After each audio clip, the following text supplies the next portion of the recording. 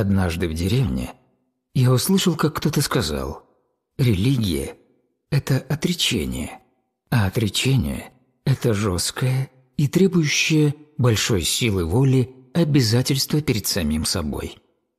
Услышав эти слова, я вспомнил случай из раннего детства.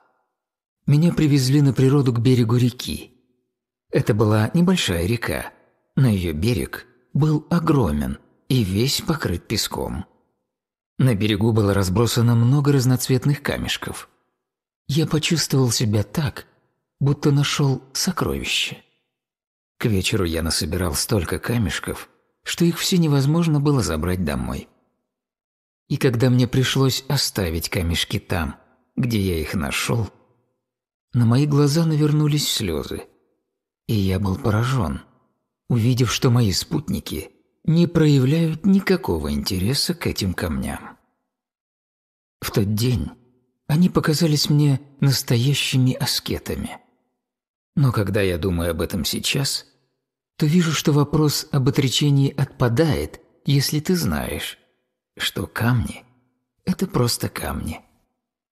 Незнание – это милость. Знание – это отречение. Отречение не является действием.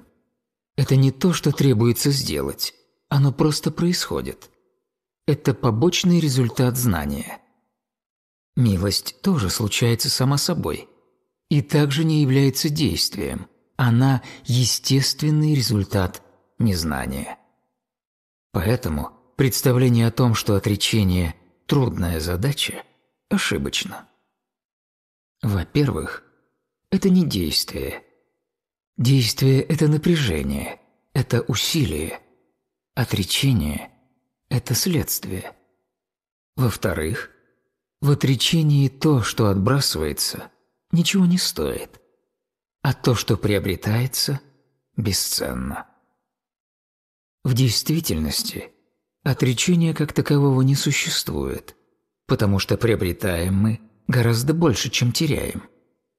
Мы теряем свое рабство и получаем свободу. Теряем раковину и получаем жемчужину. Оставляем смерть и достигаем бессмертия.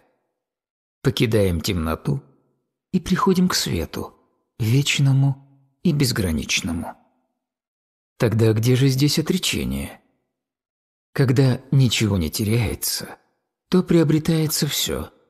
Это нельзя назвать отречением.